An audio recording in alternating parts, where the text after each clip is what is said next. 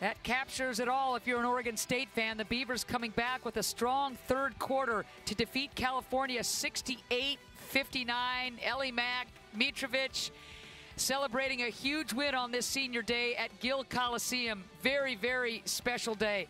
Cal, undersized, in foul trouble, banged up, and yet coming like crazy with Jayda Curry leading the way. Yeah, she is just one special freshman. We talked about it all day.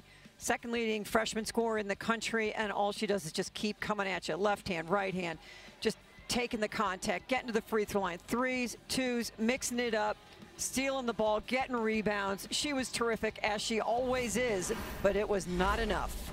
Ellie Mack shook off a sluggish game against Stanford and came alive in the third quarter. Yeah, you play 24 minutes and you score 14 points and you get six rebounds. That is just the picture of efficiency. Her team needed her and she delivered. They ran set after set. Great decision here by Adams, just kick it on back.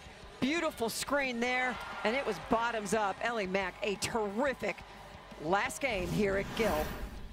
Mack, one of six seniors honored. Andrea Aquino another one of the seniors honored. In her entire career, because of a medical condition, she wasn't able to play until today. She started for the first time. She wore a uniform for the first time.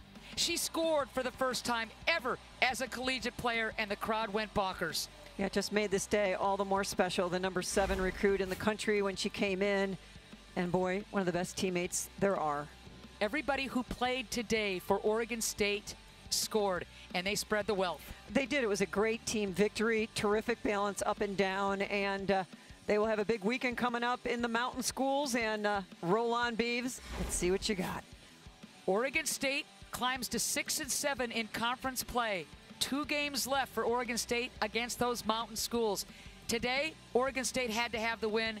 They got it. The final in Oregon State's favor, 68-59 over Cal. Anna Mary saying so long from Corvallis.